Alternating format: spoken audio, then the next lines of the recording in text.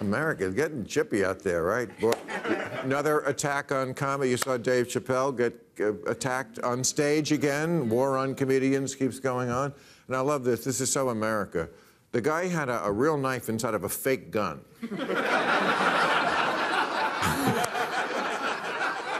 you want to sneak a knife in somewhere? Hide it in a gun. In That's... And our, uh, our new friend Madison Cawthorn is back in the news. You know, I don't know if you're familiar with this guy. He's kind of new on the scene. He's very young, under 30. I think one of the youngest uh, Republican or any congressman. And uh, Christian conservative keeps getting caught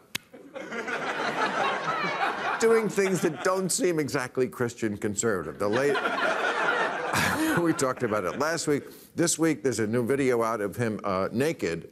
Uh, straddling another man's face and thrusting his pelvis into it. The,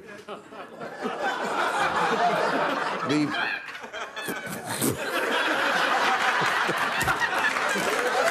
the, uh,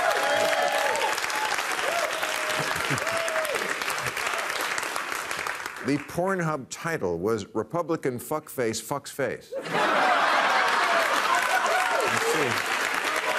And, uh, he said, Madison already commented on this. I'm not joking. He said he was just trying to be funny. This, this is always. Two weeks ago, he was caught in. Uh, there's a picture of him in women's lingerie, women's underwear, trying to be funny. He said it was a joke. Then last week, we had the video where he was in the car. and he's saying, I want to feel the passion, and another guy is grabbing his dick. Joke. He said it was just a joke now we have him skull fucking a guy on tape. And, and again, I'm joking. I mean,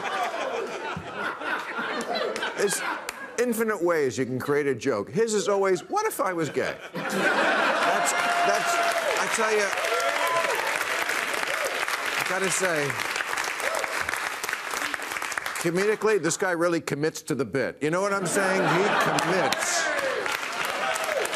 But no, I, I'm not saying he is gay at all. I'm just saying in Florida, they're not allowed to discuss him in school now.